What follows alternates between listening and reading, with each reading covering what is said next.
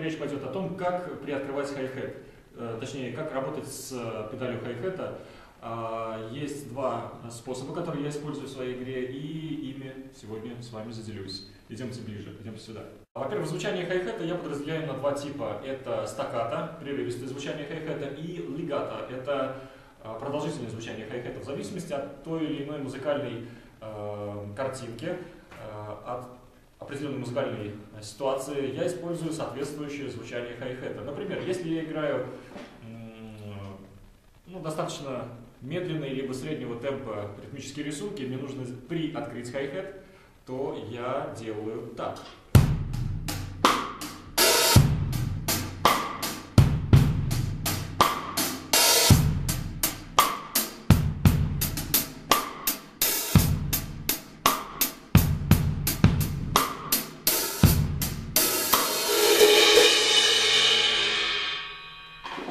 Само слово «приоткрыть» уже говорит о том, что это не полнота действия, и именно это я переношу также на инструмент. А, приоткрытые, то есть они открытые, но не совсем. А, две тарелки касаются друг друга и создают некое такое шершание, колебание. А, это очень важный, очень важный момент, причем сделать это можно, если посмотреть технически, да, при помощи футборда. Сделать это можно тем способом, если мы с плюсной, вот с носочка вот с этой части ноги, перемещаем массу ноги на пятку.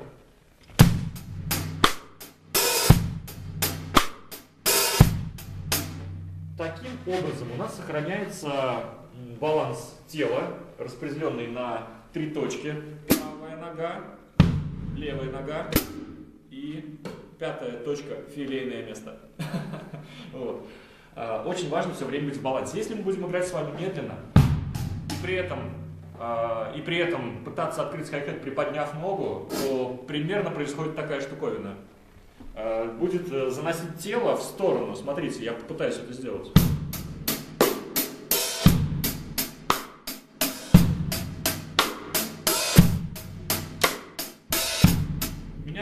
Откидывает в левую сторону, потому что я поднимаю ногу и работают совершенно другие мышцы э, ноги, то есть я теряю баланс, меня уводит, уводит в сторону. Э, плюс ко всему это сказывается на звучании. Хай-хет э, звучит весьма как-то очень странно, то есть нет вот этого э, некого такого шуршащего звучания. Поэтому, если вам нужно при открыть хай-хет сыграть от определенной субдоли к последующей субдоли, либо сыграть какую-то продолжительную длительность а, в виде, например, четверти.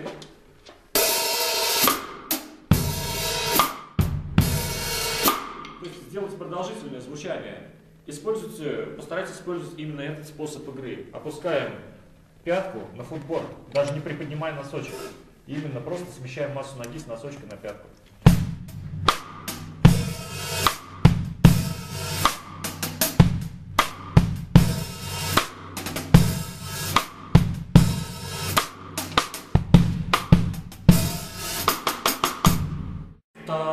Способ игры – это стаката, то есть прерывистое звучание.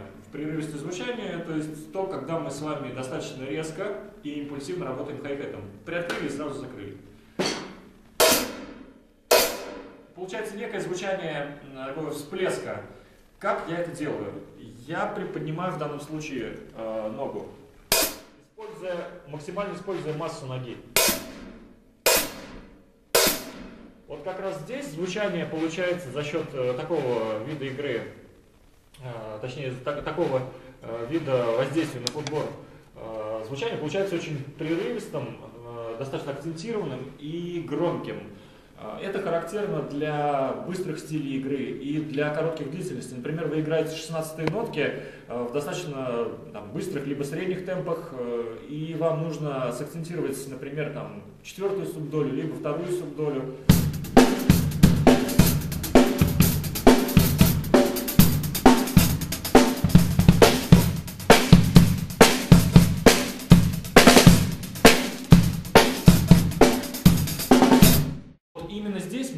Используем heel up и приподнимаем ногу так, но так, чтобы сама нога не отрывалась от футборда. Это тоже важный момент, чтобы не было так. Вот. Все время, все время нога находится на футборде в обеих случаях. Даже когда мы опускаем пятку, либо поднимаем. То есть работаем как на педали бас-барабана, а, аналогично, все то же самое. Вот, вроде все рассказал. Ну вот такие вот э, два простых приема. Возможно, придется немного потренироваться, потому что они несколько могут показаться непривычными, особенно первый вариант, э, игра стаката. Э, контролируется звучание хай-хета, чтобы это было действительно приоткрыто, чтобы они касались друг друга, чтобы это не звучало как э, бабушки на кастрюле 72 -го года выпуска с Кировского завода очень важно. И старайтесь звучание хай-хета, звучание тарелки немного уводить э, на задний план. То есть это э, не доминантное не, звучание, оно не должно быть лидер партии.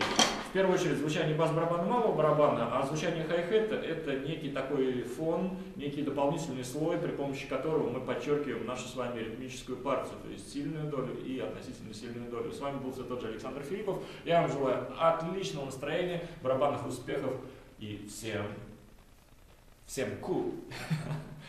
yeah.